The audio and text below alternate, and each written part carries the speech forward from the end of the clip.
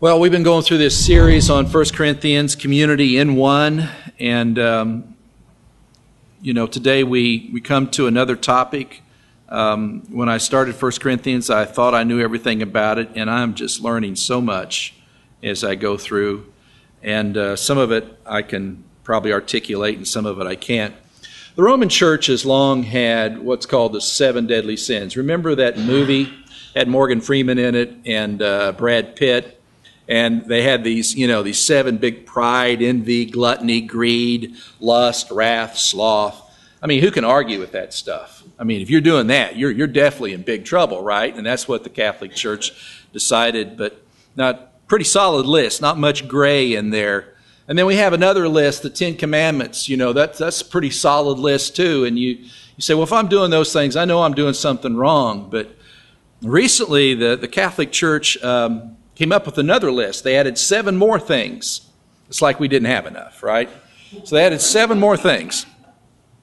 And these are, you know, they say violations of the basic right of human nature. So taking part in polluting the environment, genetic engineering, being obscenely wealthy, obscenely wealthy, okay, taking or selling drugs, having an abortion, engaging in pedophilia, or causing social injustice. Now, you know, quite honestly, I, I, can see some wiggle room on these. Some of them no, but I can see some wiggle room. There's kind of some shades of gray. I, I thought about actually advertising the, the topic of the sermon with shades of gray and see how many women we would get to come, but eh, you, you'd probably be very disappointed if I did that, you know, by the end of the sermon. But, but anyway, there's, you know, if, if I turn my thermostat down because it's just too hot outside, am I polluting the environment?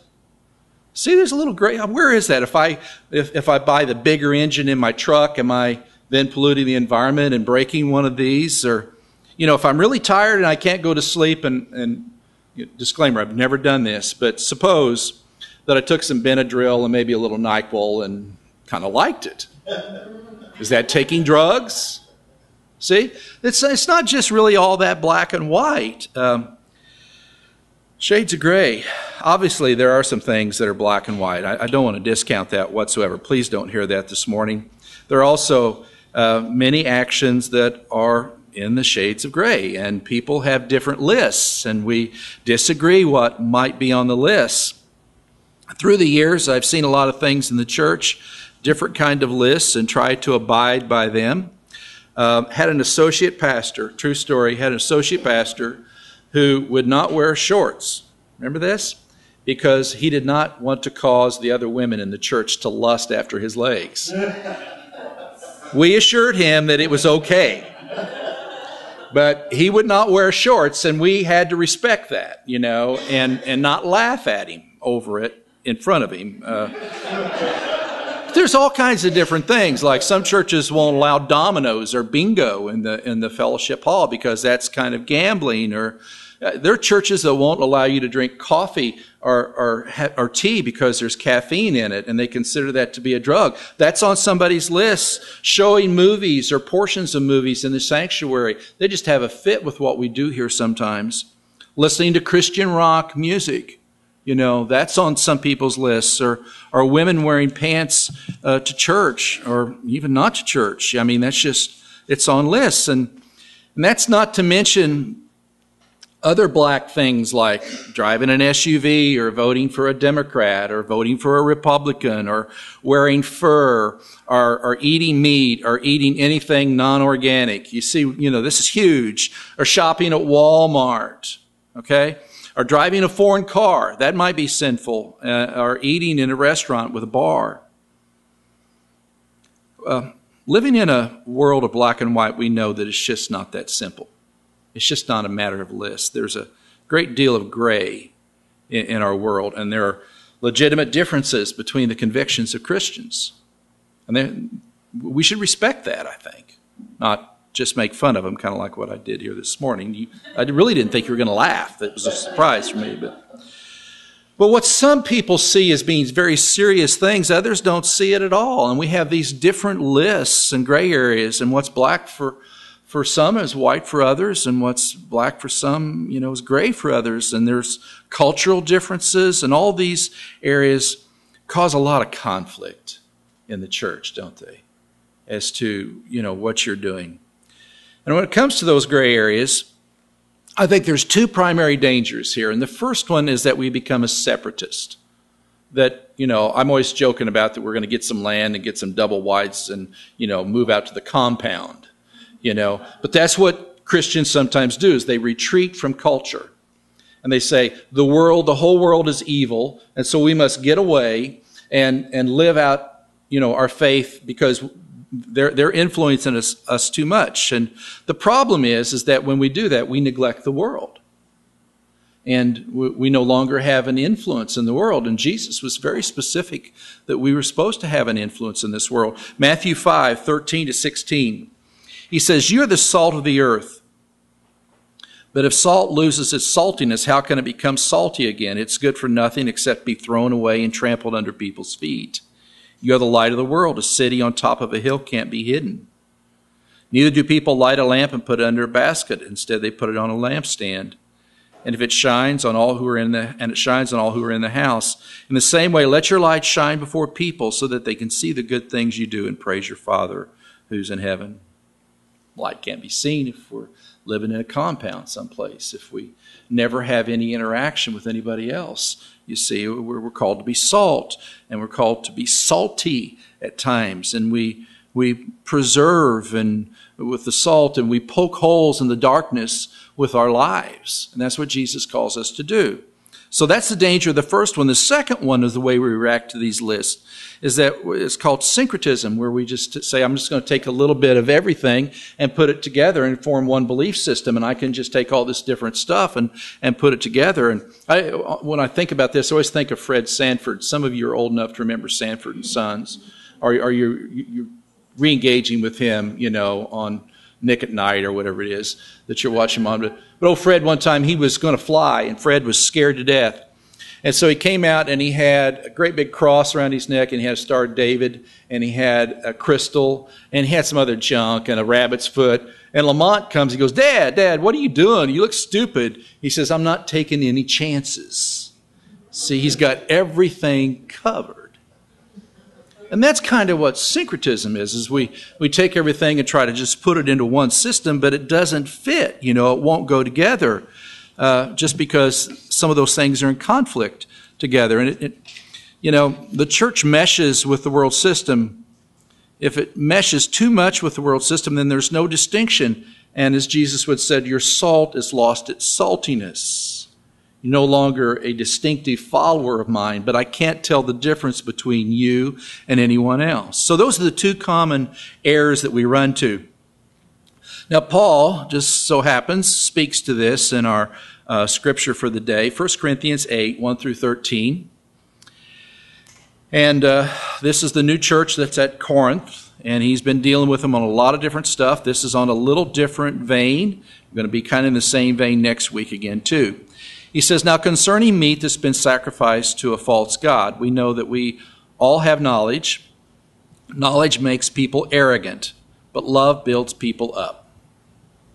If anyone thinks they know something, they don't yet know as much as they should know. But if someone loves God, then they are known by God. What's going on at Corinth is kind of weird for us. I mean, this, this takes a kind of a jump to get into our lives. It's a prominent pagan city, there's temples everywhere. Okay, so Paul plants this little church there and it grows, and the people that come to his church, some of them are Jews and become Christians, and, and others are really just what we call pagans. They're worshiping all these other false gods. And at these temples, they would sacrifice animals. I know it sounds gross, but uh, that's what they would do: is they sacrifice their animals, and then the meat would make it up in the butcher shop, and that was where most of the meat came from, was for these temples. So no Kroger can't go there and get a nice steak. So if you want some meat, you're probably going to have to go down to the temple market, and this meat would have been sacrificed to some pagan idol at some time.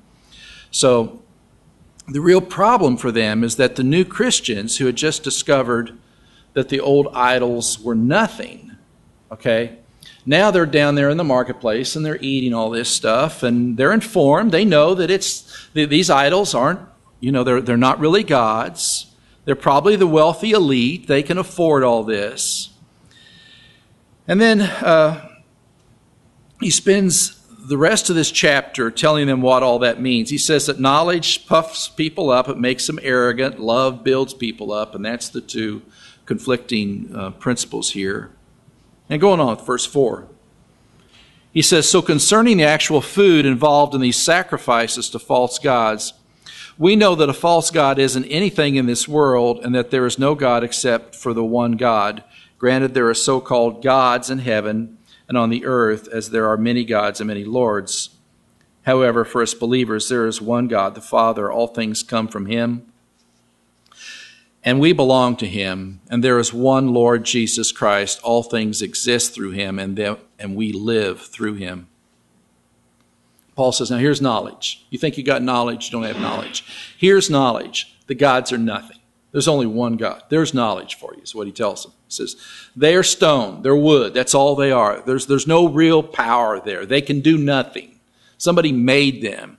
So really, the meat that's sacrificed to these false gods, it's nothing. I mean, the meat's not tainted in any way. We know that because the God is nothing. They have no spiritual power. He says, We know there's only one God, He made all things, and we have the freedom to eat it, is what He tells them. And we know that eating this doesn't contaminate us. We're not going to get the cooties from this meat. You know, it's been sacrificed to this God. So, now to, you know, I thought about this. To, to, a, Christ, to a Christian who's been a Jew, this is the largest paradigm shift I think that you could have. Because you see, a Jew wouldn't even eat with a Gentile. They wouldn't even go to a home of a Gentile. They, they might be defiled, and they thought that what they did with their dietary laws and with what they did with their body was obedience to God. It pleased God, and it also made them part of that covenant, and they would receive covenant blessings. So it was all about what they did with their food and what they did in their actions and staying away from people, pagans, who were dirty. So this is just, you know, all of a sudden Paul says, there's nothing wrong with this. Go ahead, eat some meat. And they're going, man, it's something else. We've been down there every night, you know. Just, just we, we never could go there, but now we're down there every night. Huge paradigm shift. Okay, verse 7. But not everybody knows this. Key verse. Some are eating this food as though it really is food sacrificed to a real idol because they were used to idol worship until now. Their conscience is weak because it's been damaged. Food won't bring us close to God. We're not missing out if we don't eat, and we don't have any advantage if we do eat. Problem is, see, some in the church at Corinth had just come out of this idol worship. And, you know, they thought it was a real idol and they thought there was real power there because they were used to this idol worship up until now. And their conscience is weak because it's been damaged. It says it's, it's, the conscience being weak means it's unable to process this. And they think that it's contaminated. Okay, verse 9. He says, But watch out, or else this freedom of yours might be a problem for those who are weak. Suppose someone sees you, the person who has knowledge, eating in an idol's temple won't the person with a weak conscience be encouraged to eat the meat sacrificed to false gods? The weak brother or sister for whom Christ died is destroyed by your knowledge. So Paul says, okay, here's what's happening. So somebody doesn't know that there's nothing to, to these idols, but, and you do, so you're down there eating and they see you, and then they are tempted to go back to the idol worship and they're led back into that because of your freedom that you're abusing in front of them. You see. Verse 12.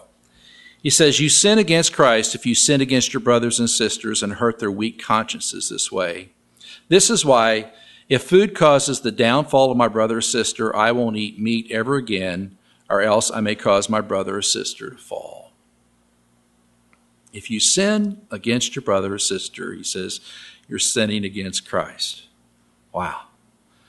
Now stop and think about this. You know, it's during this series, we put these two signs up here. You know, I am a temple, we are a temple. He's, he's saying that if we sin against each other, we're sinning against Christ. Why? Because Christ is in the temple here. Okay? When we're together, he says, two or more together here I am in your midst. So he's, he's in the community. Paul adds something kind of to the shades of gray.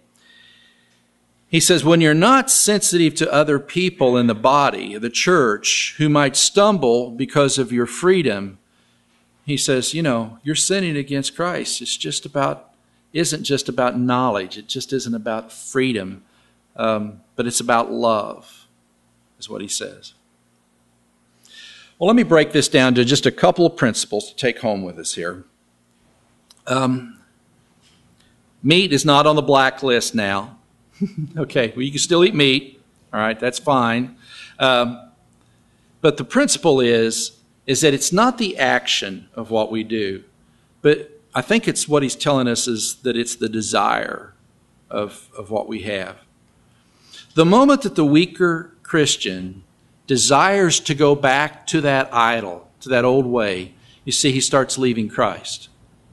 And there are so many things across cultural lines. I mean, this actually, if this were read in a place in Africa today in their community, they, they could apply it because some of their meat has been sacrificed still to idols. But for us, it's kind of a jump. But I, you know, I think this principle goes all across cultural lines into this gray area. And, and we might say, well, can I drink? Uh, can I smoke? Can I gamble? Is that okay now that I'm a Christian? Can I still gamble? Can I still play the lottery if I'm a Christian?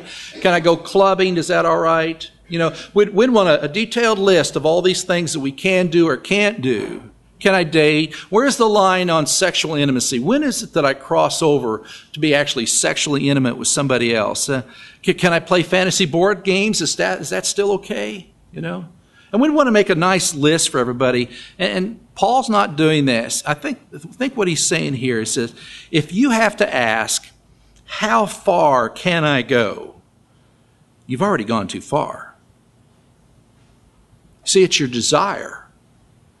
And if we're desiring how much sin can I get away with and still go to heaven, how much sin can I get away with and still be in the family, then that desire to get away, all right, is already getting us out of the family. We're already going the wrong direction.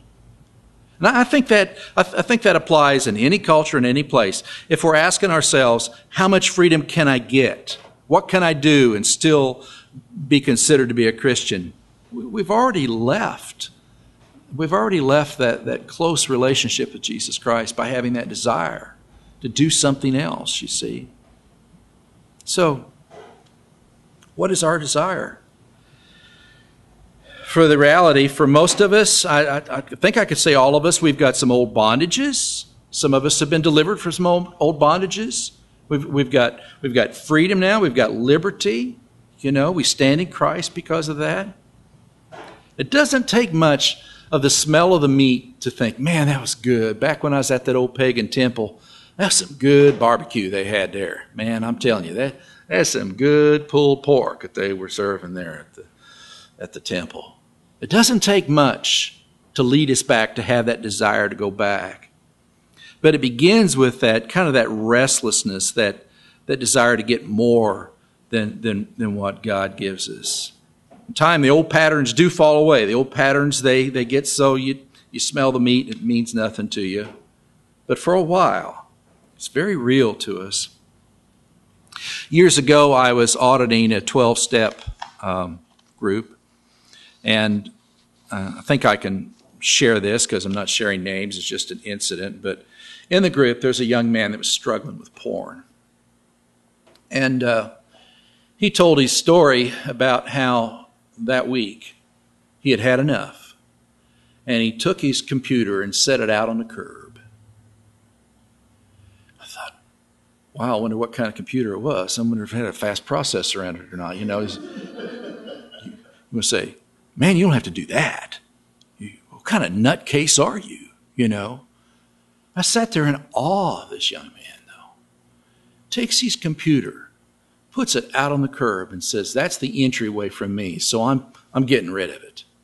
And he's, he's kind of like these, these people here in Corinth have been eating the, the meat from the temples. And, and Paul says, Watch out, you know, have some love for them. You don't need to get them over the side and say, Well, now, young man, now really, it's not the computer it's, you know, you, you know, you're acting kind of nutty here. You ought to just put it in, in the closet for a while or, or get you some kind of uh, software system on it, you know.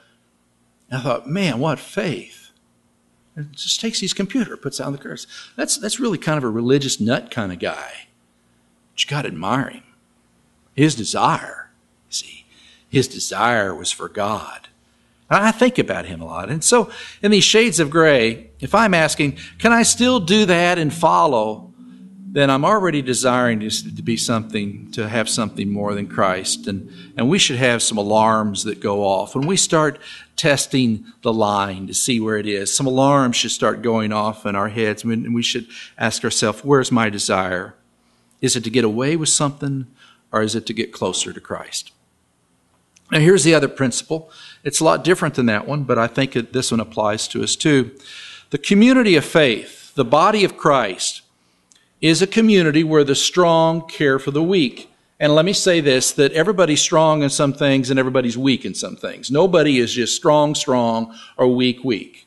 Everybody's strong in some things and weak in some other. And, and Paul says that if these new Christians were going to go to sin, Paul says, I'll eat tofu and bean sprouts for the rest of my life. I'll never eat meat again. If it means that they will not go back, then I'll give up meat for the rest of my life, is what Paul says. In other words, he says, I'm willing to sacrifice something for these young Christians that, you know, they're very vulnerable right now.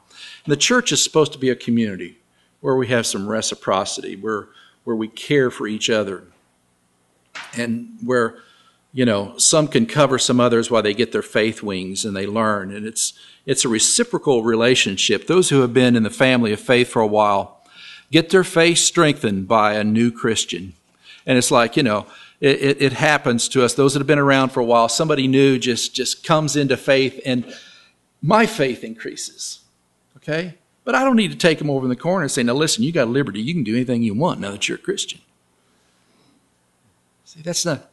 I should have some care for them, and, and if it means that that um, if it means that I sacrifice some things, that I don't, we'll just keep with the meat.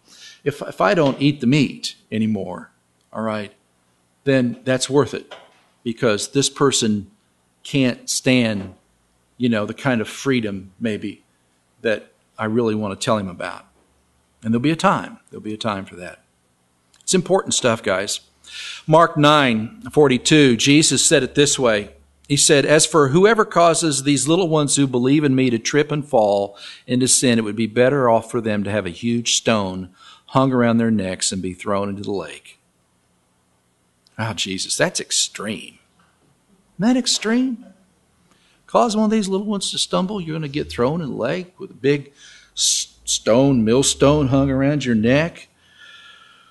But you know, his his analogy is is accurate. He says, you know, take care of each other. Watch watch people. You know, you should know where the weaknesses are in someone, and extend your love to them.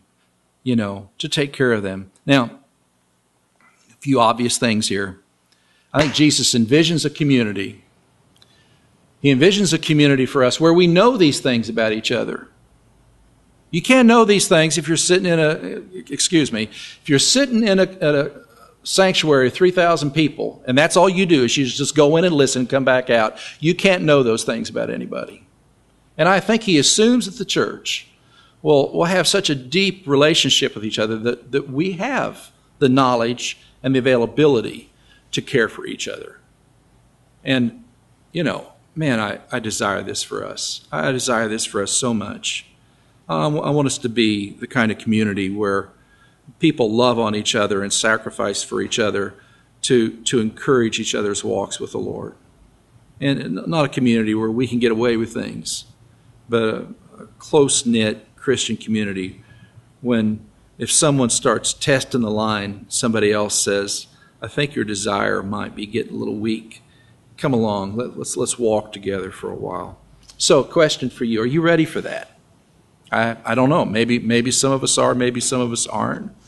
Uh, it's not like I'm going to get in your stuff and call you out. Um, but I, th- I think what, what Paul has in Corinth and what Jesus envisions of the church is to be the kind of place where there's that kind of mutual care Um, might call it accountability, but he says it's in love. Love is what dominates. Let's sit with that for a minute, if you will. Let's have, a, have some prayer time.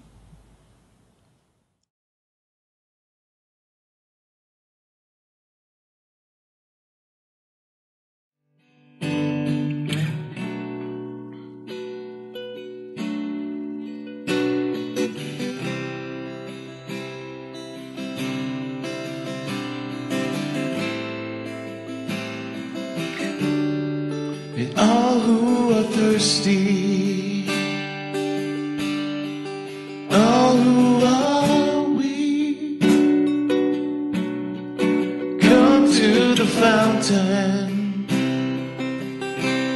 Dip your heart in the streams of life. Let the pain and the sorrow be washed away in the waves of His mercy. As deep cries out.